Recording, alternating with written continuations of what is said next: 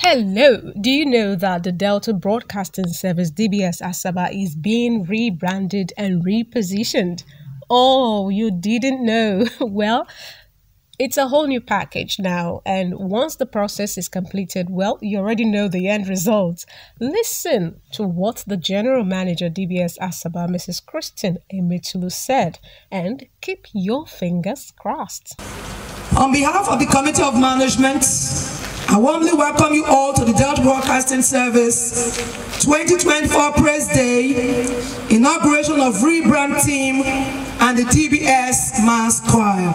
This praise and prayer day with the theme, Our Blessed Land, Our Prosperous People, was put together to invite God to expressly guide the affairs of DBS Asaba this year so as to attain our goals.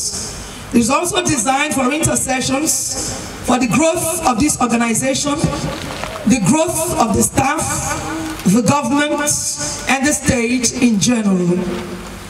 Today also, the DBS rebranding team and internal ideas committee will be blessed to set forth on the task of repositioning of DBS for mass acceptance and relevance within the broadcast industry in Delta State and beyond. Their mandate is to come up with ideas and strategies to achieve the following. Improved facilities and full digitalization of DBS as Asaba. Training and retraining of staff develop and ensure new programs. I will disseminate to Deltans the policies, programs, and developmental strides of the state government, as well as to bring feedback from the governed to the government and promote peace and progress amongst others. Proper funding and revenue generation, improved visibility with strong presence on DSTV, reputed as one of the best broadcast media digital platforms in the world today. Extension of DBS services to relevant publics, create better relationship between DBS and the organized private sector, the government, development partners, and the general public for patronage. Good publicity, bolstering of visibility DBS Asaba and our programs and services, amongst others.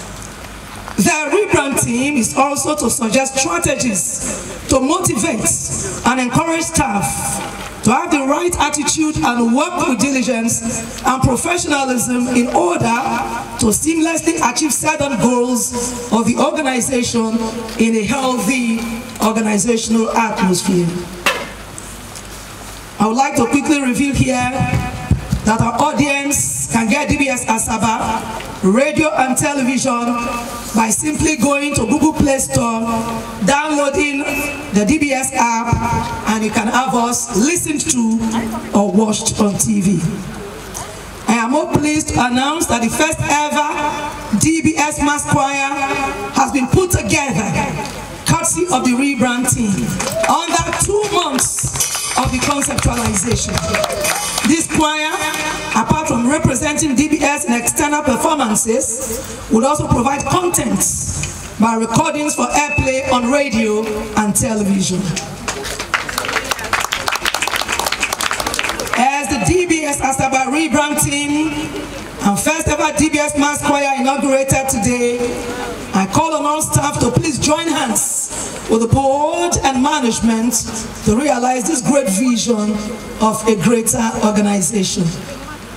And I believe that with the presence of our Lord Spiritual, Reverend Father Dibie here today to bless us, this vision would surely be achieved.